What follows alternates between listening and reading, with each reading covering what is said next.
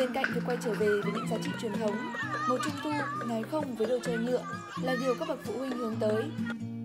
Chính vì thế, mặt hàng đèn lồng gáo dừa tuy không mới nhưng lại có sức hấp dẫn riêng với các gia đình. Tôi quyết định mua cái đèn gáo dừa ấy là bởi vì cái đèn này nó rất là thân thiện với tự nhiên. Cái thứ hai nữa ấy là dùng rồi mình có thể cất đi sang năm dùng vẫn được, nó không có bị lỗi thời. Bạn bé nhà tôi thì ờ, bạn ấy rất là ngạc nhiên khi là à, lồng đèn gáo dừa ấy được làm từ những sọ dừa, từ những quả dừa bạn ấy uống hàng ngày.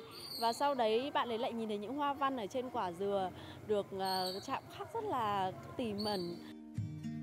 Là một sản phẩm thủ công, hoa văn được chạm khắc đơn giản nhưng không cái phần tinh tế, thân thiện với môi trường, không độc hại, lại vừa độc, lạ, đẹp và rẻ.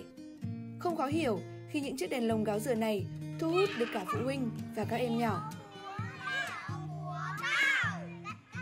Đèn của con nó có thể phát sáng vì ở trong có một cái nến và nó được làm từ vỏ dừa và nó được trang trí rất là đẹp. Nó có hình uh, ông mặt trời con thích ạ.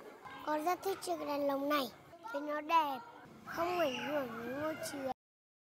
Mỗi lời nhắn nhủ về giá trị truyền thống, về thông điệp bảo vệ môi trường sẽ được truyền đi giản đơn qua chính những chiếc đèn lồng như thế này.